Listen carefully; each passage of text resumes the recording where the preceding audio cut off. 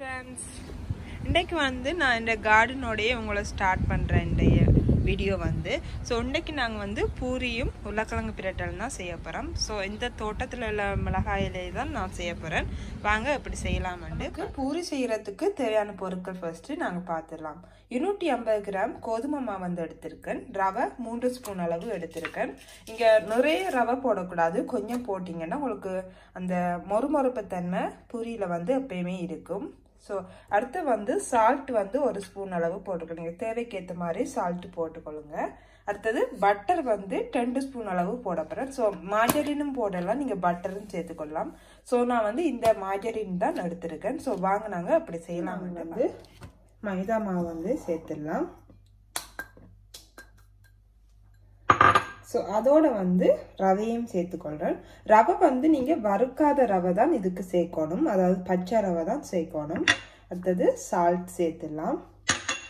இப்போ மூண்டையும் வந்து நல்லா மிக்ஸ் பண்ணி விட்டுடலாம். ஸோ வந்து பட்டரையும் சேர்த்துக்கொள்கிறேன்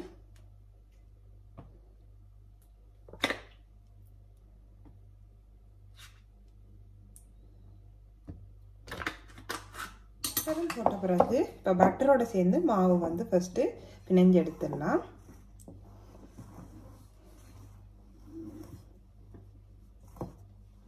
ஸோ பட்டர் போட்டிங்கன்னா ஒரு கொஞ்சம் டேஸ்ட் வந்து டிஃப்ரெண்ட்டாக இருக்கும். ஸோ அந்த ரவையும் சேர்ந்து உங்களுக்கு அந்த மொறுமொறுப்பு தன்மை இருக்கும். ஸோ பூரி வந்து பொம்மலாகவே இருக்கும். ஸோ இப்போ வந்து நான் நூறு மில்லி லிட்டர் தண்ணி எடுத்திருக்கேன். ஸோ ஆக சூடும் இல்லாமல் ஆக குளிரும் இல்லாமல் மிடில் தன்மையில் எடுத்திருக்கேன். ஸோ கொஞ்சம் கொஞ்சமாக ஃபஸ்ட்டு நீங்கள் மிக்ஸ் பண்ணிடுங்க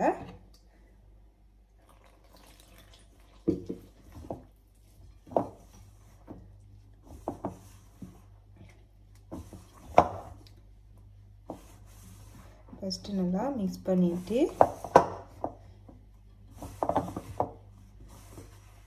இப்போ பூரிக்கு நீங்கள் குழைக்கும் போது ரொட்டியை விட பூரிகிற தன்மை வந்து கொஞ்சம் தனித்தன்மையாக இருக்கணும். ஸோ அதுதான் உங்களோட தண்ணீரை பதம். ஸோ நான் நூறு மீட்டர் இருநூற்றி ஐம்பது கிராமுக்கு ஸோ நூறு மில்லி லிட்டர் இருநூற்றி ஐம்பது கிராமுக்கு சரி அளவாக இருக்கும். பாருங்கள் நான். அதில் இருக்க இன்னும் கொஞ்சம் தண்ணி தான் இருக்குது ஸோ அதுவும் லாஸ்ட்டில் சேர்க்க போகிறேன் மேலதிகமாக நான் வந்து எந்த தண்ணியுமே சேர்க்கலை.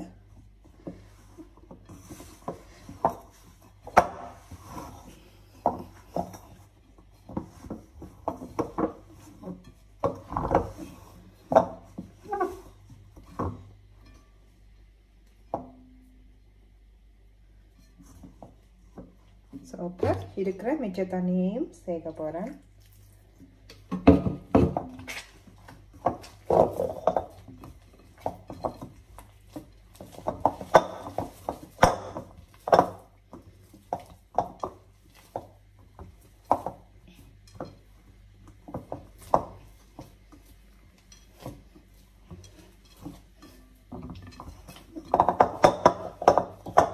ஸோ நாங்கள் மிக்ஸ் பண்ணிட்டோம்.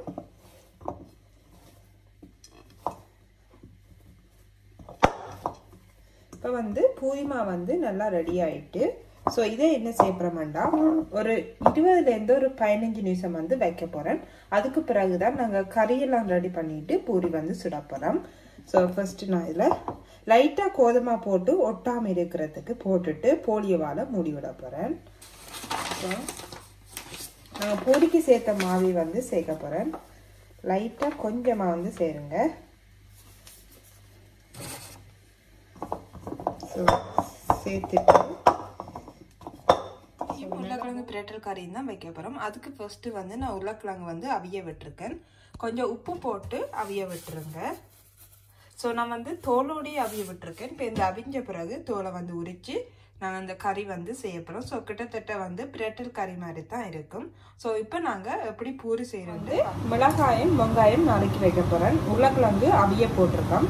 ஸோ ரெண்டு வெங்காயமும் மூன்று மிளகாயும் எடுத்திருக்கேன். ஸோ வாங்க இதை நறுக்கி வைப்போம். இந்த மிளகாய் வந்து பாருங்கள் எங்களோட தோட்டத்தில் கொடுக்குனது நல்ல பாருங்க எவ்வளோ விதை இருக்குன்னு பாருங்கள் ஸோ நறுக்கி வச்சிடலாம். ஸோ ஃப்ரெஷ் எண்ணெய்க்கு அந்த நல்லா காஞ்ச தன்மையும் இல்லை நல்ல ஃப்ரெஷ்ஷான தன்மை இருக்குது ஸோ நான் ஒரு மருந்து மடிக்காததால் ஸோ நல்ல ஃப்ரெஷ் தன்மை இருக்குது ஸோ ஒனியனும் போட்டிருக்கோம் தோட்டத்தில் ஆனால் பட் என்ன அந்த இதாகையில் காய்க்க வலிக்கிறதில்ல ஸோ கீழே காய் வந்த பிறகு நான் ஒனியனும் இப்படி எங்களோட தோட்டத்தில் வந்தேன்னு சொல்லி உங்களை காட்டுறேன். ஸோ வெங்காயத்தை இப்படி நறுக்கி எடுத்துடலாம்.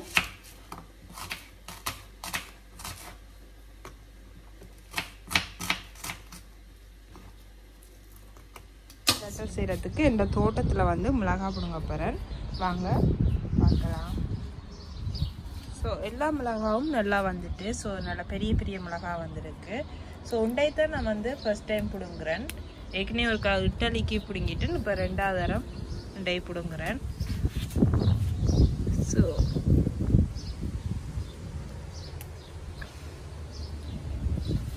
சரியான காரமான மிளகா. ஸோ இப்போ எங்களுக்கு மூண்டு காணும் இப்போ மரத்தில் இருந்துன்னா பழுதா போகாமல் இருக்கும். தேவைக்கேற்ற மாதிரி நான் பிடுங்கி கொள்ளுவேன். ஸோ நல்ல குண்டு மிளகாவும் நல்ல நீட்டு மிளகா கூட. ஸோ வாங்க நாங்கள் எப்படி கறி செய்வீங்க ஸோ இதை நாங்கள் இனி எடுத்துடலாம். ஃபஸ்ட்டு இதில் தோல் எல்லாத்தையும் உரிச்சு எடுக்க போகிறோம் அதுக்கு பிறகு தான் இந்த கறி வந்து ரெடி பண்ண போகிறோம் ஃபஸ்ட்டு இந்த உருளைக்கிழங்கு வந்து குட்டி குட்டியாக வந்து கட் பண்ணி எடுத்துடலாம்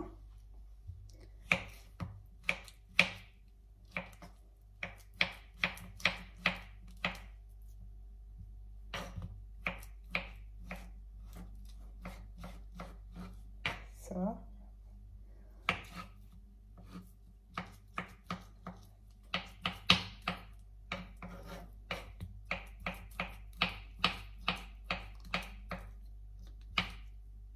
ஸோ இப்போ நான் வந்து எல்லாத்தையும் இப்படி கட் பண்ணி எடுக்க போகிறேன் ப்ரெட்டில் வைக்க போகிறோம் அதுக்கு கொஞ்சம் எண்ணெய் சேர்த்துக்கொள்ளலாம். ஸோ நாங்கள் தாளிக்கிறதுக்குரிய எண்ணெய் வந்து இப்போ சேர்த்துக்கொள்கிறேன் தாளிக்கிறதுக்கு கடுகு பெருஞ்சீரகம் கடலைப்பருப்பு மஞ்சள் உப்பு இவ்வளோ வந்து எடுத்து வச்சுருக்கேன். ஸோ நாங்கள் இப்போ ரெண்டுலேயும் ரெண்டு ரெண்டு ஸ்பூன் எல்லாத்துலேயும் ரெண்டு ரெண்டு ஸ்பூனாக சேர்க்க போகிறோம் கடுகு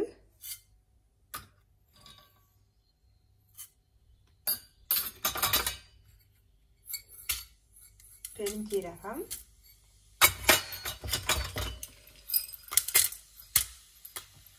கடலைப்பருப்பு. கொஞ்சம் மஞ்சள் சேர்த்துக்கொள்ளலாம் அடுத்தது தேவையான அளவு உப்பு. அப்புறம் நீங்கள் பார்த்து உப்பு தேவையெல்லாம் சேர்த்துக்கொள்ளலாம் ஃபஸ்ட்டு இவ்வளோ போட்டு ஃபஸ்ட்டு தாளித்திடலாம்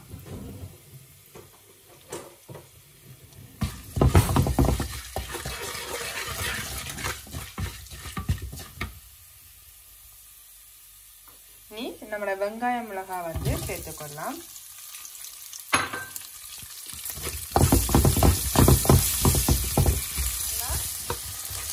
வெங்காயம் நல்லா கொதிய விட்ட பிறகு இப்போ உருளைக்கிழங்க சேர்க்க போகிறோம் ஸோ அவிச்சு நறுக்கி வச்சுருக்க உருளைக்கிழங்கு எல்லாத்தையும் இப்போ சேர்க்குறேன். எண்ணெயிலையும் நல்லா வதக்கி கொஞ்ச நேரம் அவிய விட போகிறோம்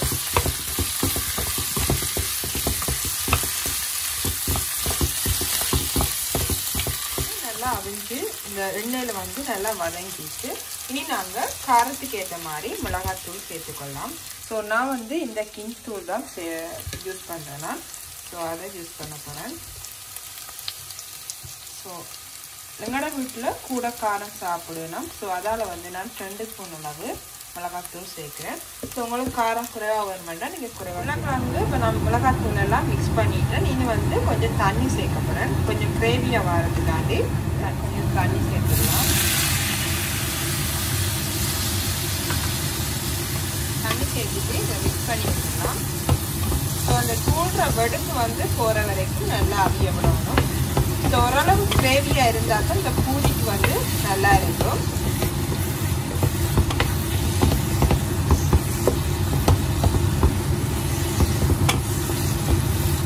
ஃபஸ்ட்டு ஒரு டென் மினிட்ஸ் வந்து அவிய விட்டிங்கன்னா இந்த கிரேவி வந்து ரெடி ஸோ இனி நாங்கள் பூரி வந்து செஞ்சு பண்ணலாம் பூரி மாவு வந்து நல்லா சொஃப்ட் ஆகிட்டு இனி நாங்கள் பூரி தட்டிடலாம். ஸோ அதுக்கு முன்னாடி இந்த இதில் வந்து கொஞ்சம் மாவு வந்து போட்டுடலாம். ஸோ உங்களோட தட்டைக்க ஒட்டாமல் இருக்கும். ஸோ ஸோ லைட்டாக சேர்த்துக்கோங்க இல்லாட்டி வந்து எண்ணெயை வந்து பழுதாக்கிடும் ஸோ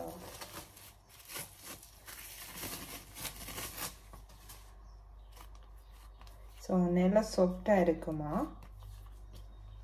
பாருங்கள் நல்லா சாஃப்டாக இருக்குது ஸோ இனி நான் வந்து ஃபஸ்ட்டு போல் வந்து பிடிக்கிடலாம் ஸோ நீங்கள் எந்தளவு பூரி போட போகிறீங்களோ அதுக்கேற்ற மாதிரி போல் பிடிக்கிறேங்க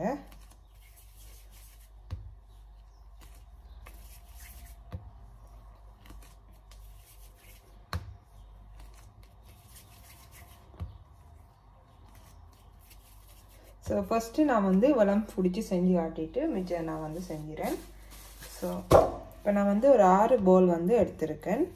ஸோ ஃபஸ்ட்டு இதில் மாவில் வந்து போலை வந்து கலவி எடுத்துடலாம். ஸோ நீங்கள் எண்ணெயும் சேர்க்கலாம் பிரச்சனை இல்லை.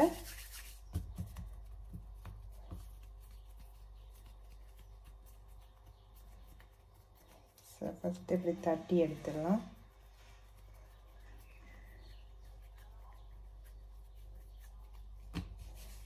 ஸோ இனி வந்து பூரிக்கட்டையால் வந்து ஒரு பூரிக்கட்டையால் தட்டையாக்கிடலாம். ஆக மெல்லிசாக தட்டாயங்க. அப்படி என்ன உங்களுக்கு பொங்காது. ஸோ ஓரளவு லைட்டாக மொத்தம் இருக்கணும். அப்போ தான் அந்த பூரி வந்து பொங்கும்.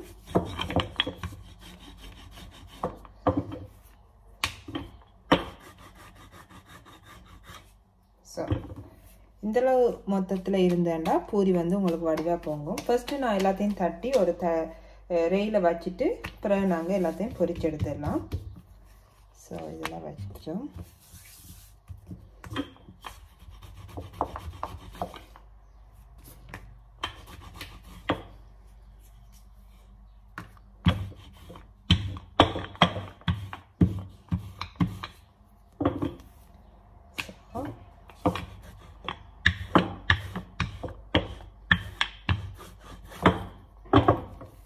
ஸோ பாருங்கள் ஆக மெல்லிசும் இல்லை ஓரளவு மொத்தமாக இருக்குது ஸோ உங்களுக்கு பூரி இப்படி தட்டுனீங்கன்னா ஓகே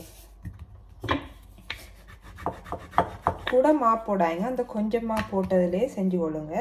இல்லாட்டி வந்து உங்களை எண்ணெயை வந்து பழுதாக்கிடும்.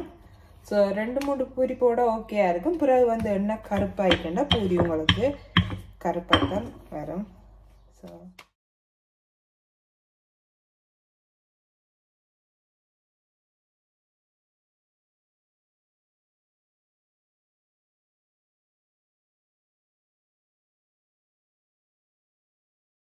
வந்து எண்ணெயை வந்து நல்லா கொதிக்க விட்டுடலாம்.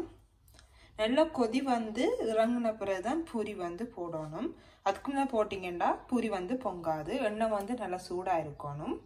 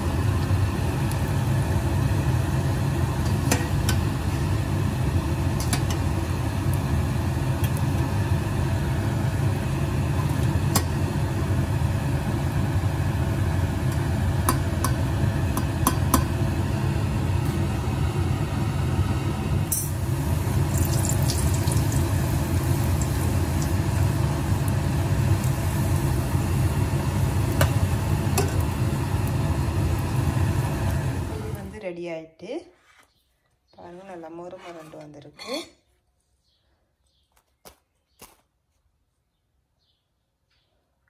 இது வந்து பெஸ்ட் ரெசிபி உங்களுக்கும் நீங்களும் வீட்டில் இதை செஞ்சு பாருங்கள் செஞ்சு பார்த்து எனக்கு கமெண்டில் வந்து தெரியப்படுத்துங்க.